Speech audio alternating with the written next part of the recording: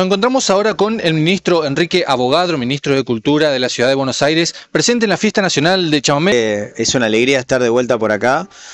Eh, la primera es esa, la emoción, la alegría de estar de nuevo en un escenario tan emblemático como este anfiteatro del, digamos, el, el Cocomarola, que, que realmente trasciende las fronteras de la provincia, celebrando el chamamé, patrimonio de la humanidad, celebrando una fiesta que, tiene tanto impacto, hoy en una noche llena de gente, sé que viene así eh, en todas las noches, tuve la suerte y el honor más temprano por la tarde de visitar a, a Mario Bonfil, eh, y me contaba él que la noche del jueves, donde él estuvo presentándose, desbordó, digamos, tanto que hubo gente que estuvo afuera.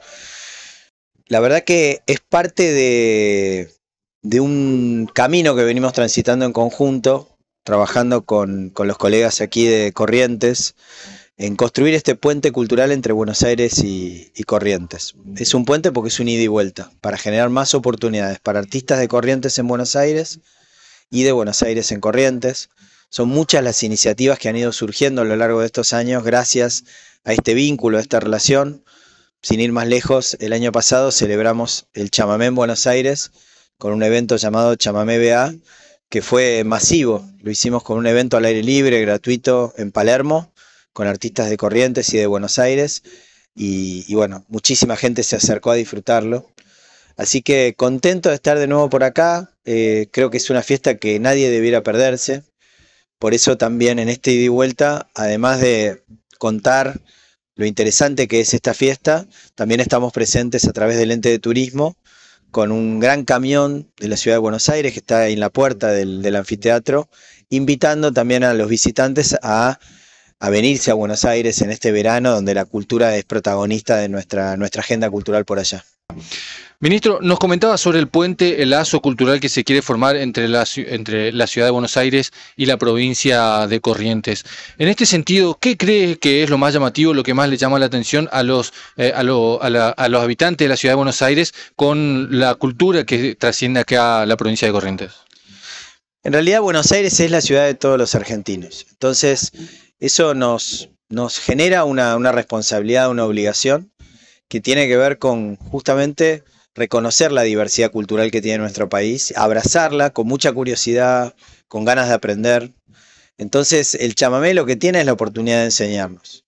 Por un lado, a quienes no son del litoral, descubrir un género que realmente es maravilloso, pero además recordar que en Buenos Aires, por suerte, recibimos argentinos de, de todo el país que vienen a trabajar, a estudiar, a formar una familia, se afincan en nuestra ciudad y desde ahí desarrollan un proyecto de vida. Entonces, traen consigo su propia cultura y esa cultura se mezcla, se mistura con la del resto de las personas que allí viven. Entonces, yo veo eso como una ventaja y de vuelta como una responsabilidad. Eh, es muy difícil contar algo como esto sin haberlo vivido, por eso es que estamos presentes acá. Y a la vez son iniciativas concretas las que van surgiendo de cada uno de estos viajes eh, lo que estoy seguro es que todavía hay mucho potencial para crecer en materia del chamamé. Basta venirse acá para ver el impacto no solo simbólico que tiene la cultura, sino además económico. La cultura genera trabajo, genera desarrollo. Aquí hay muchísima gente que se moviliza para darnos esta fiesta en el escenario, artistas, pero también detrás del escenario, todos los servicios conexos, la gastronomía, la hotelería, el transporte, en fin, es muchísimo el movimiento que se genera y es importante en un país que necesita urgentemente, digamos, un horizonte de crecimiento, cómo la cultura nos muestra que hay un camino posible. Bueno, lo principal que venimos haciendo en conjunto justamente es esta promoción cruzada. En nuestro caso, promoviendo el chamamé en Buenos Aires, el año pasado a través de Chamamé BA, este gran evento público que tuvo sus antecedentes en eventos más chicos que nos fueron llevando a este gran escenario que pudimos montar el año pasado. También el año pasado hicimos la primera noche de las peñas de la ciudad de Buenos Aires, que tuvo una gran asistencia de público. No estuvo solamente vinculado al chamamé, sino a todo nuestro folclore, pero el chamamé fue protagonista.